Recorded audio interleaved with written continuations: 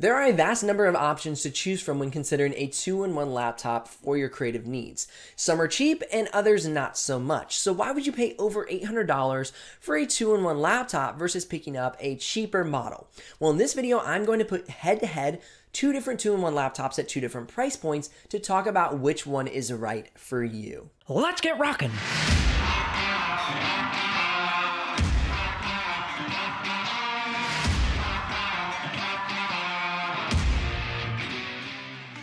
If you're new to the channel, my name is Benji Kaiser, and this is where you're to find the best tech and tools for creative professionals. In this head-to-head battle, the over $800 laptop is the Acer Spin 5, and our sub $800 laptop is the Lenovo IdeaPad Flex 5. If you're curious about the exact pricing of each of these laptops, you can head down in the description below and click one of those links. Now, if you do use that link, I will get a small commission, but at no extra cost to you, and that's what keeps this channel alive and the helpful content coming your way. First and foremost, let's talk about some of the differences in performance, and then later we will discuss the differences in the practical application and build quality.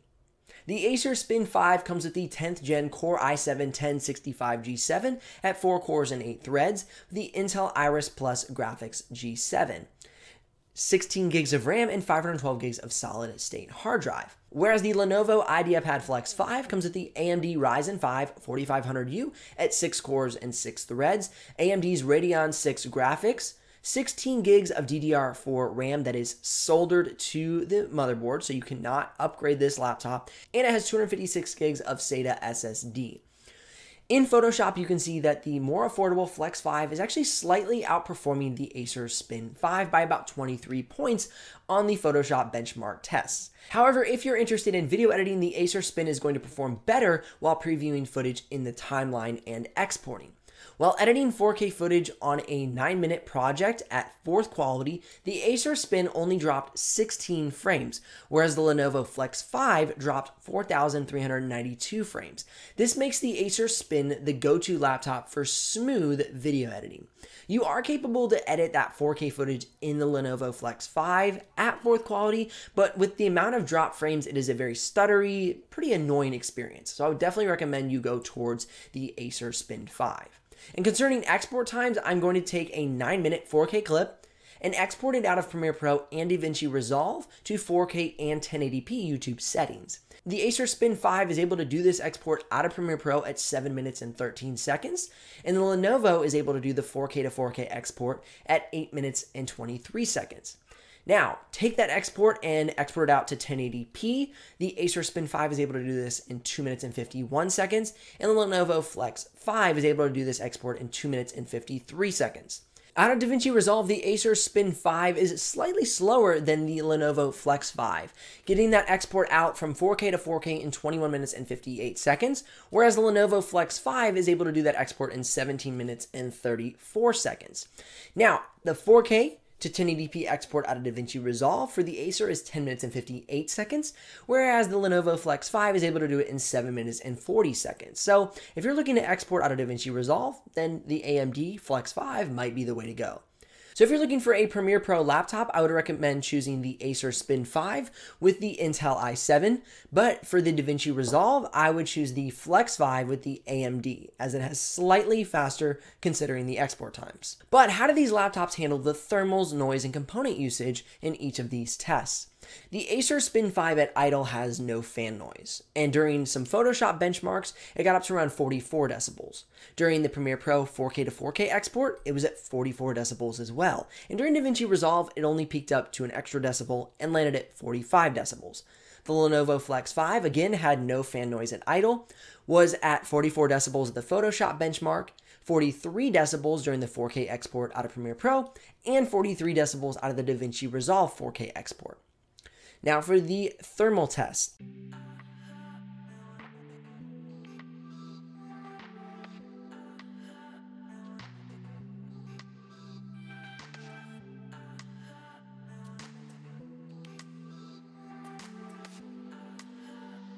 Now for the component usage.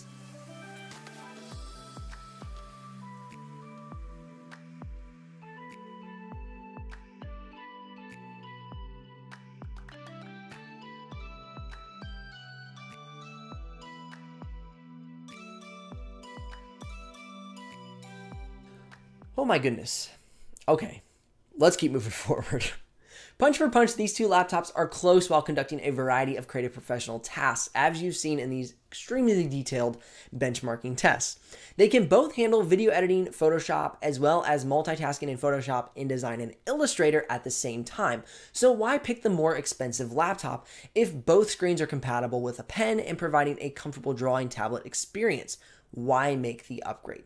Let's dig a little deeper and discuss the build and functionality of these two laptops. The Lenovo Flex 5 comes with an all plastic build featuring a soft touch material on the keyboard deck. I like this material a lot. It is very similar to my Dell XPS 15, which I've used for over three years.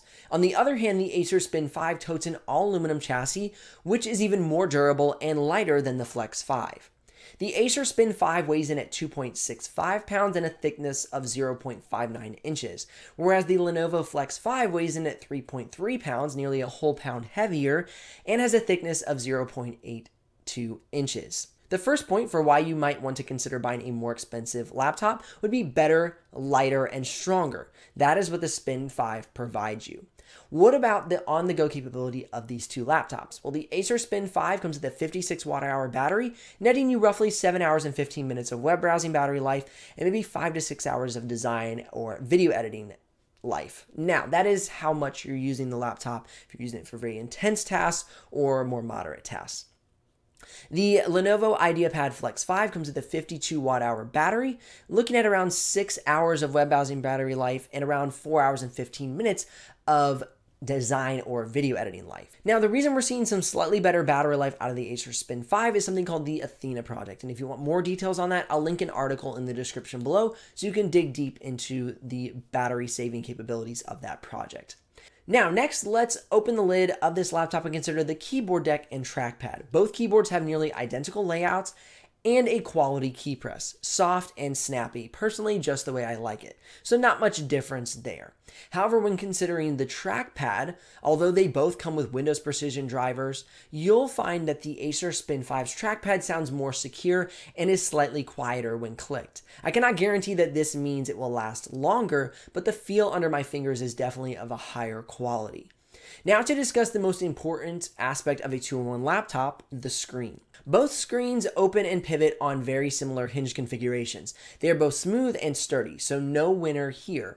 However, things take a shift when you encounter the brightness and vibrant screen of the Acer Spin 5. The Acer Spin 5 is nearly twice as bright as the Flex 5 at 425 nits compared to the Lenovo Flex 5's 210 nits at full screen brightness. And you can easily and visibly see the brighter difference. Concerning the color accuracy, the Spin 5 wins again, attaining a color gamut range of 100% sRGB, 79% Adobe RGB, and 80% DCI-P3 versus the Lenovo Flex 5 with a range of 64% sRGB and 48% Adobe RGB with 48% DCI-P3. So that extra bit of cash will get you a higher quality screen that is brighter and vastly more color accurate. Now, when it comes to the dimensions, that's merely preferential. I've never owned a 3x2 aspect ratio screen found on the Spin 5. I'm more familiar with the Flex 5's 16x9 aspect ratio. But after using the Acer Spin 5 over the past week and a half, I must say I could see myself making this laptop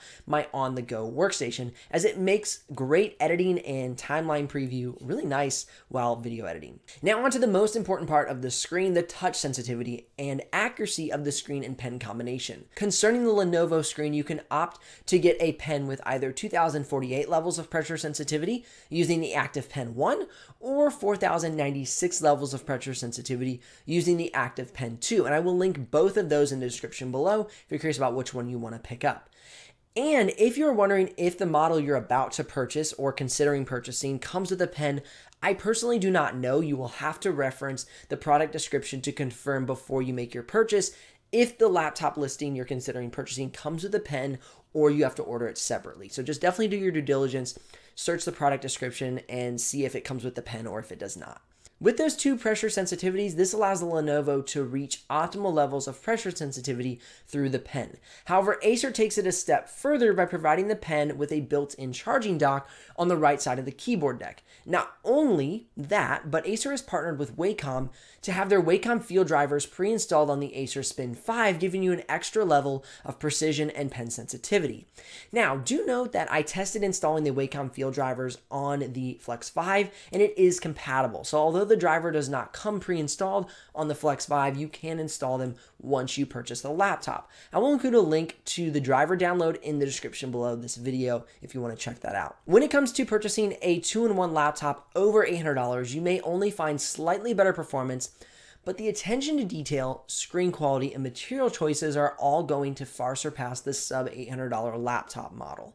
If you're looking for a laptop with great benchmarks in Photoshop and the supporting Adobe Design apps, great pen pressure sensitivity, quiet while conducting your tasks, all at under $800, then I would consider the Lenovo IdeaPad Flex 5. But if you're looking for an all aluminum, thin and light laptop with great performance for the Adobe Design apps and video editing, with a bright and color accurate screen, built in pen and charging dock, plus pre-installed Wacom Feel drivers, all at a medium tier price point, then I would consider the Acer Spin 5. If you're curious about the exact pricing of either of these models, or if you're ready to make a purchase, you can head down in the description below and click one of those links. And if you do use that link, I will get a small commission, but at no extra cost to you. But of course, that's what keeps this channel alive and the helpful content coming your way. If you want to learn more about the Acer Spin 5 or the Lenovo Flex 5, more in detail review, you can click or tap the screen.